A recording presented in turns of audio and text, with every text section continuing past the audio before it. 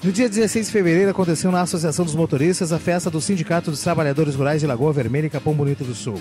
Cerca de 2.500 presentes participaram também da segunda mostra das agroindústrias familiares, formada por agricultores do município. Através da cooperativa, através das agroindústrias, através do PENAI, também que é um órgão federal que também colabora com nós, associados das pequenas cooperativas, é o jeito que a gente sobrevive lá no sítio, lá no interior aqui de Lagoa Vermelha.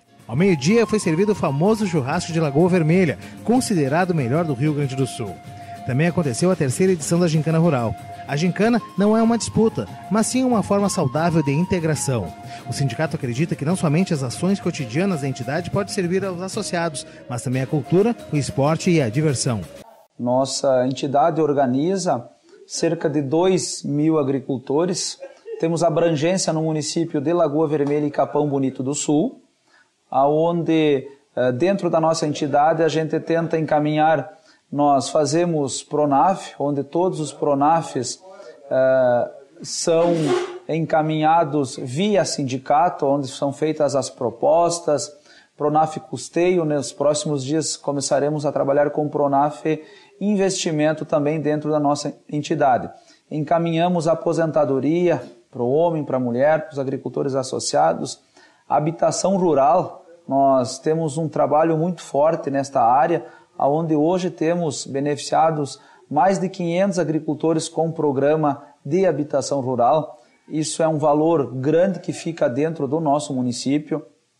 Temos também serviços médicos dentro da entidade, serviços dentários, isso tudo para o associado, bancado pela nossa entidade. O Sindicato dos Trabalhadores Rurais é reconhecidamente um grande parceiro do crescimento social dos trabalhadores e da economia da região. O Sindicato dos Trabalhadores Rurais de Lagoa Vermelha e também de Capão Bonito do Sul tem uma importância muito grande para todos os produtores aqui do nosso município, também do município vizinho.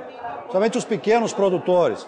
O sindicato tem representado muito bem as reivindicações dos produtores, quer sejam a nível de município, é, quando nós temos diversas parcerias para na parte de habitação, parcerias na parte de formação de patrulhas é, rurais, patrulhas agrícolas é, e também em programas de fomento do município. Nós estamos no ano internacional da agricultura familiar. E quando se fala da agricultura familiar, logicamente estamos falando da produção de alimentos.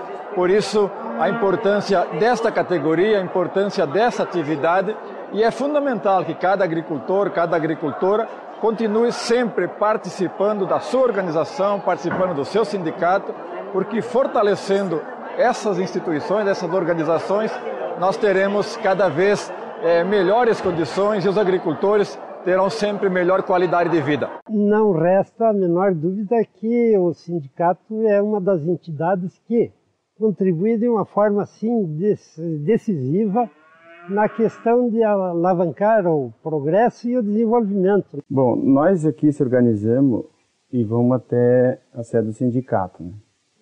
nós produtores aí, e levamos nossas sugestões ao presidente, e nessa maneira que a gente consegue as coisas, lutando, né, e se organizando tudo junto, né? Sem organização não consegue nada.